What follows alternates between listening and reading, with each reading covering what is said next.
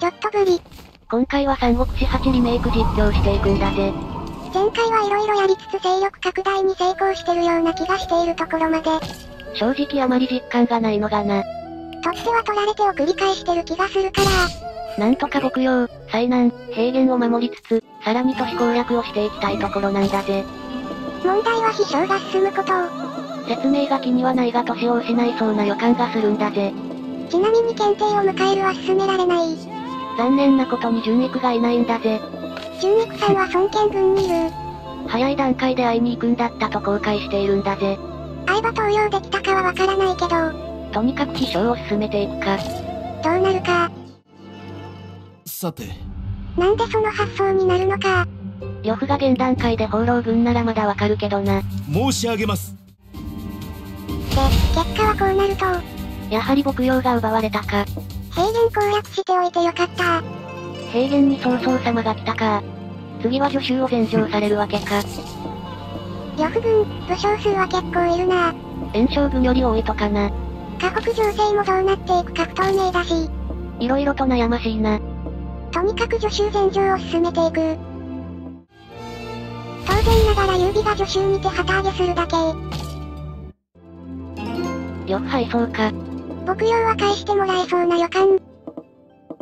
そして、勝敗に流れ着くわけだな。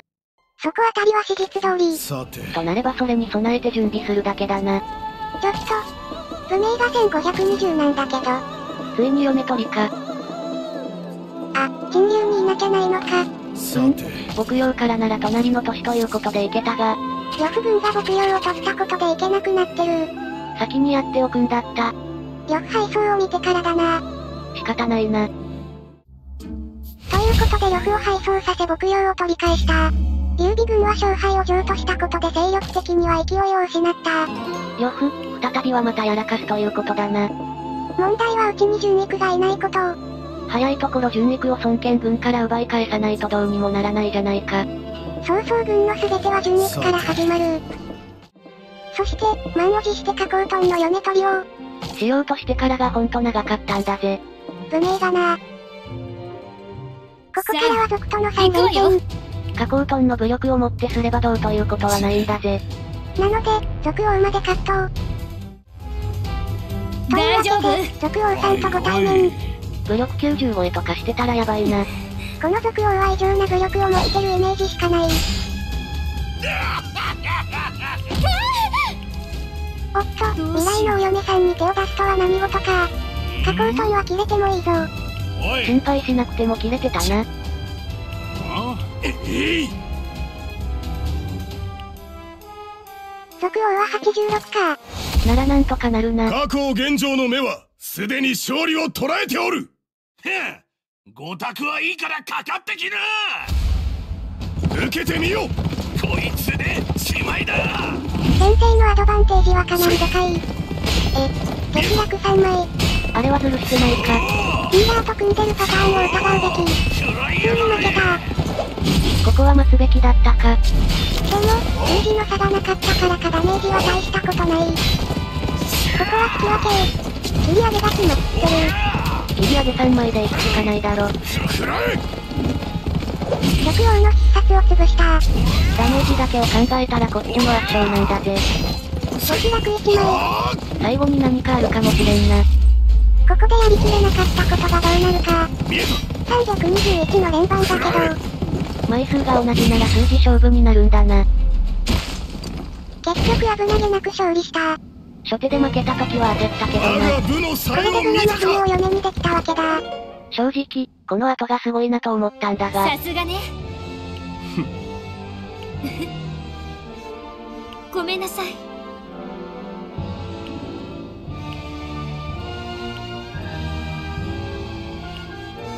うん私も同じ気持ち誰よりも尊敬して愛しているわこのフルボイスな。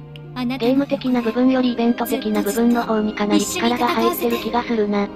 素晴らしいことだと思うけど、ムービーとか CG とかがすごくて内容が。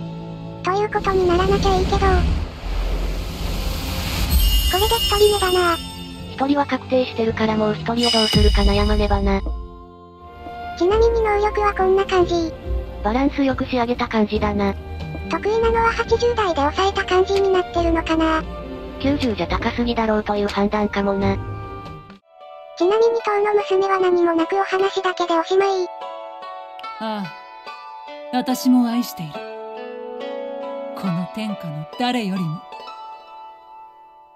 相変わらずのフルボイスで、うむほんと力入れすぎだろと。嫁イベントは全部このパターンなのかも。共にあと一人しか嫁が取れないのが残念なんだぜ。これで二人目。統率、武力の嫁で一部隊編成できたら嬉しいんだが、嫁同士仲が悪いとかないよね。そこあたりは仲良くしてほしいよな。ここで流れる開始画面のスローテンポ音楽が地味に好きだったりする。なんかめちゃくちゃ耳心地がいいんだよな。延期の能力は、部の娘から見ると武力がもう一声欲しかったかもな。統率80代はいいけど、魅力以外が少し低めかも。せめて武力が60代後半は欲しかったかな。女性なだけ魅力が高いのは当たり前として、ここからの成長に期待ということかもな。尊権軍に押されてかなり厳しい状況だよな。集中攻撃を受けやすい都市はなかなかに守りづらいかもな。逆に援軍をいっぱいもらえる都市はめちゃくちゃ守りやすいかも。ということは守りやすい都市を作り守りつつ、前に進んでいくべきなんだろうな。アンチが大事。そこあたりを考えつつ攻略していかねばか。加工トンがなんとかしないと曹操軍はかなりヤバいから。本拠に帰り嫁たちに会いに行く。確率で子供ができるはずだな。言い方が異常に難しいかもだけど、あとはこの後知るんだが、敬愛になってからも交流を続けると心得が何度ももらえるようだな。かいざってこと堂はたくさんもらえる人と仲良くすれば、ああ、何度も大量に心得がもらえるということになるんだぜ。曹操様と仲良くしていかねば、あんまり同じ都市に入れないのが難点だけどな。そうなると嫁と戯れながら、嫁の心得をもらうのがベストかも。身近な人からもらうのがベストだろうな。カード書き、武力差もあるしな。何度も言うけどかなり危ない落ち方。下手したら、だからな相、手にならんこれで武力経験値ももらえて心得ももらえる上に仲良くなれる。最高じゃないか。これを繰り返すと時間がどんどん溶けていく。楽しいんだけどな。楽しすぎるからやばい。食べてみも腕は定期的にしたいところだな。子供の育成とかがどうなるかも気になるし、最終的には親子で軍団作りができたりしてな。ドラクエオ的な感じでいけるのか。モンスター役が不憫だな。そこあたりは儒兄弟とか総称の人たちじゃない。それもそれでひどいな。だ覚悟を決めよう。見極嫁めた相手に容赦がない勝ったら経験値がもらえないからな。たまにある行動力回復イベントも助かる。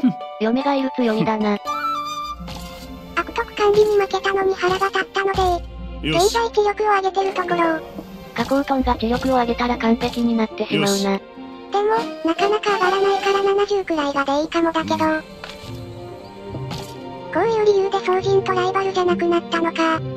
そして、血の娘が、最後の一人は血を狙っていたから好都合なんだぜ。問題は、血の娘を始めるには知力70必要なんだぜ。知力70もか。当分知力を鍛錬しないといけないな。加工トンの低い知力を補うために血の娘が欲しいのに、まあ、70まで上げる程度ならいいだろ。部や統率を見る分に80以上の嫁が来るはずだからな。よしじゃあ、大衆なのでお仕事は部下たちに任せ。加工トンはせっせと知力の鍛錬に励むんだぜ。鍛錬中も中華情勢はどんどん変化していく。これは河北の言う、高村さんの可能性も。任せろ出てきそうだな。加工トンはそんな情勢には関与せず、たやすい相絶手とは戦の練習中なんだぜ。まだまだこの時、絶戦の仕組みは理解できておらず、燃ターン数が燃え上がり始めるのにもっと早く気づいていたらな。えてる理由がわからないと意味がないけど、理屈ならば私的には議論が高まって熱くなっているという意味合いに捉えているんだぜ。る最初は冷静に、徐々に冷静さを失い熱くなっていくということだな。ああ、絶戦とはそういうもんだろうしな。交渉にいい4かボターン目で使ってれば、がまだわからんか正直、この時はこれでこんなもんかという感じだったんだぜ。燃えまくり。すでに負け格だな。元を正せばな、なんと最後に大物手を用意できていればというところだが、相手の手札が非常臭い。一気火そうじゃなく、最後の最後まで耐えての一撃にかけていたのだろうな。まだまだ絶戦はダメだな。知力が同じくらいならカード次第ということだな。あとは4と5ターン目に向けて準備ができるか。そこだな。曹操軍は平和な時を過ごしてるけど。